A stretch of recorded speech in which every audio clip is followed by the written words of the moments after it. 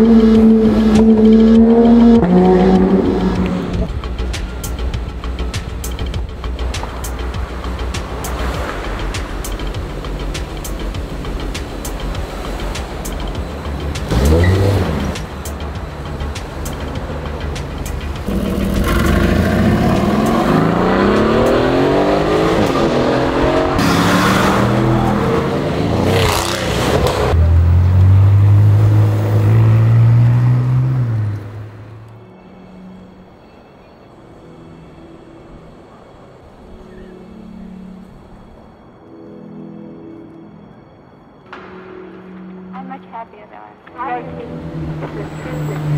very